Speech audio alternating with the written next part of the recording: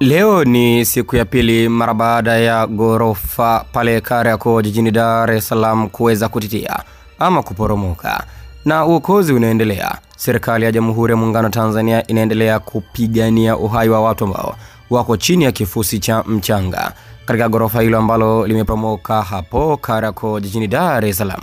Lakini kuna moja ya video ambayo ina trendi hivi sasa katika mitandao mbalimbali mbali ya kijamii ikiwahusisha baadhi ya vijana ambao wako chini kabisa wakirekodi video kuhusiana na hali ambayo inaendelea. Huyu jamaa ambaye unamtazama hapo anaitwa Saidi. Nimesikia mwenzake akimwita akiwa anarekodi video fupi kuhusiana na hali ambayo inaendelea huko chini, huku akiendelea kuhamasisha wale watu ambao wako juu wanafanya jitihada ama juhudi zote za kuweza kuwafikia walipo, basi wafanye jitihada kwa wakati. Hali ni mbaya tangu jana saa mbili asubuhi mpaka siku ya hii leo. Haya ni majira ya saa tisa. Mtu ajala, joto ni kali kama ambavyo unawatazama hapo, joto limekubali kweli kweli. Kwa hivyo hali yao sio nzuri kiafya, lakini pia kiakili, kwa sababu mwisho wa siku nafsi zao karibia zikate tamaa, lakini wanasikia jinsi gani serikali inapambana huko juu, kwa sababu hata ukisikiliza video hii utasikia kabisa juu kuna watu wako wanatindua, kwa maana muda wowote ama wasaa wowote ule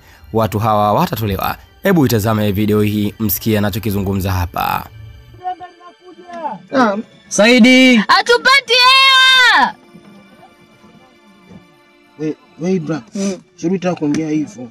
Ah, wanaokuja hapa ni serikali. Nahisi kwamba wanamna wazarau, alafu wataacha kutusaidia. Bora ukae kimya, utulie.